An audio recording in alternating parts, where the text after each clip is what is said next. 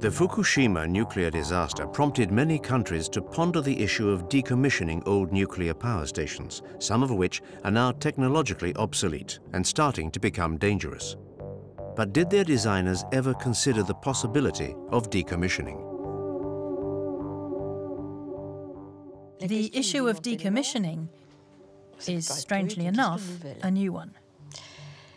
Technical feasibility is already a major hurdle. The problem is that even if the reactor is dismantled and it's gone away, you're still stuck with the waste.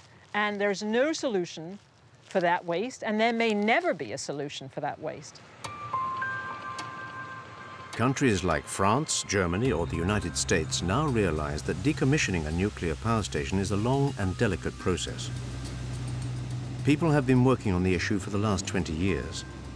Technical problems are mounting, the risks to man and the environment are growing, and to make things worse, costs are spiraling out of control.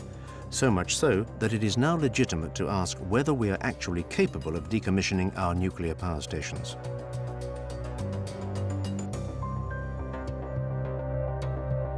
France, one of the world's largest users of nuclear power, has opted for immediate dismantling of its reactors at the end of their life.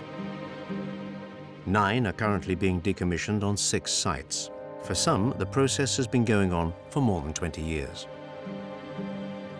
One of France's oldest nuclear power stations now being decommissioned is at Brennilis in Brittany.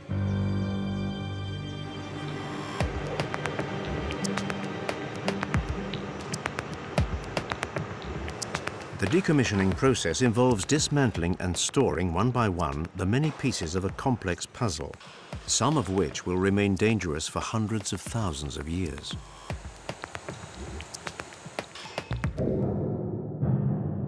Decommissioning is done in three phases. The first involves the collection of fuel which, after being unloaded, will be kept for two years in a cooling pond.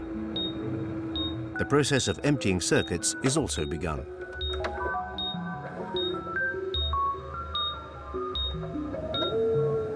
Phase two is carried out in two stages. First, areas that have not been in contact with radioactivity, followed by all the elements close to the reactor, which need to be decontaminated prior to storing.